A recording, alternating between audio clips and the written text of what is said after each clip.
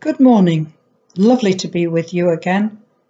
I am Sylvia from Holy Trinity and St Michael's. The reading I want to concentrate on today is Psalm 65, which describes the power and majesty of God to whom all praise should be offered. So here we go on Psalm 65.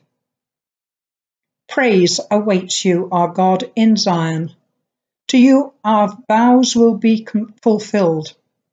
You who answer prayer, to you all people will come. When we were overwhelmed by sins, you forgave our transgressions. Blessed are those who you choose and bring near to live in your courts. We are filled with the good things of your house, of your holy temple. You answer us with awesome and righteous deeds. God our Saviour, the hope of all the ends of the earth and of the farthest seas, who formed the mountains by your power, having armed yourself with strength, who stilled the roaring of the seas, the roaring of the waves, and the turmoil of the nations. The whole earth is filled with awe at your wonders.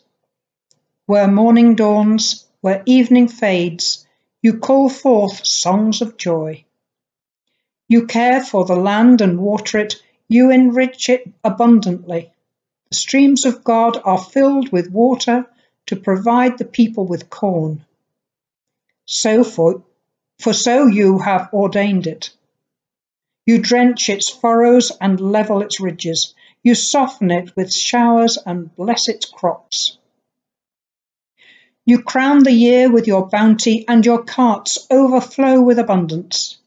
The grasslands of the wilderness overflow, the hills are clothed with gladness. The meadows are covered with flocks, and the valleys are mantled with corn. They shout for joy and sing.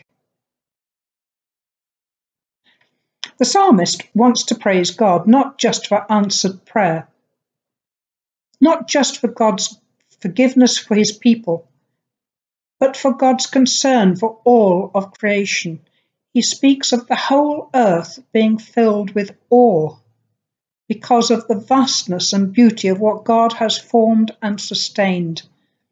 Not only does God create everything at the beginning of time, he also sustains it, providing water for the land and calming the storms at sea. He brings food for all, and the whole of creation sings for joy. It is wonderful to realize that God not only rules over the greatness of creation, the universe, the stars and planets, but over each blade of grass, each lamb born in the field.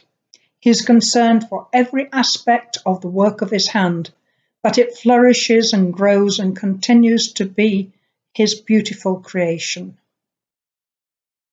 This includes us.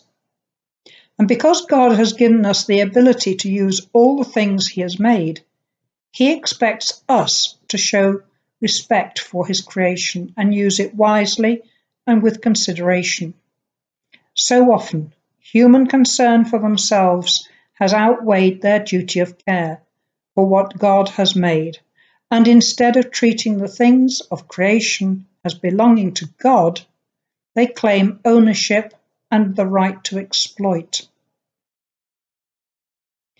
The indigenous peoples of both North America and Australia and other places have kept their rightful places in God's creation, mindful that they do not own the land, they only borrow it for the time they have on earth, treating it with respect and care because they know that it isn't theirs.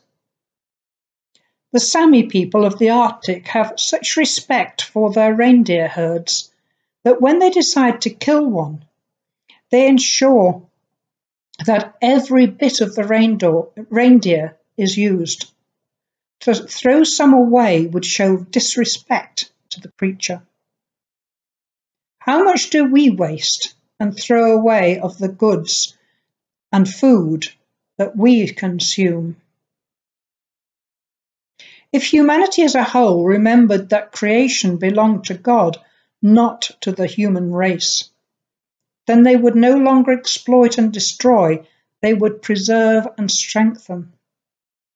Forests and wildernesses would be protected, animals would be treated with kindness, water would be freely shared, the produce of the seas would be used sustainably,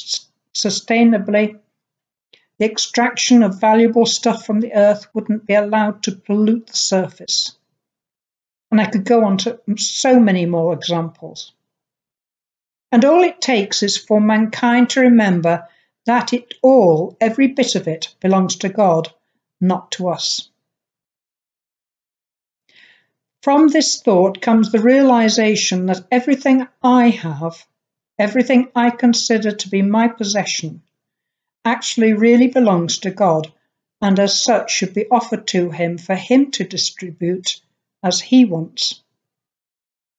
In practice, this means I must be open handed towards those people that he loves that are in need. I must be careful not to waste his resources. I must look after all of his property, including my own health. Father God, forgive us when we waste your resources, when we pollute your world Show us, Lord, how to respect and care for everything that you have made, remembering that we own nothing and that you are Lord of all. Amen. Thank you for being with me this morning. I hope all goes well this week and you keep take care of yourselves. Bye for now.